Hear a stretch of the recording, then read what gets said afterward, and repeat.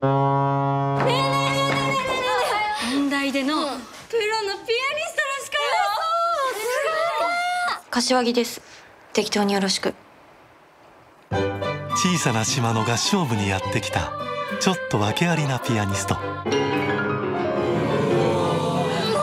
なん男子。私ピアノは弾かないから。てかなんなん柏木先生。うちらのために弾いてください。お願いします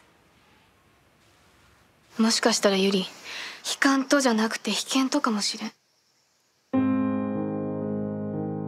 私のピアノは誰も幸せにしない。何ですかこれ？15年後の自分に手紙を書くの。なんが合唱か。やめれやめれ。うちお父さんに2回捨てられたと。うちが生まれてこん方が私はもう逃げない。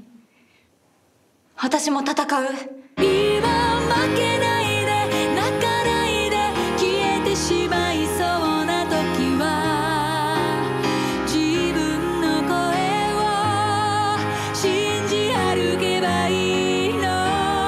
大人の僕も傷ついてそれぞれの思いが一つになった時最高の歌が生まれる笑って。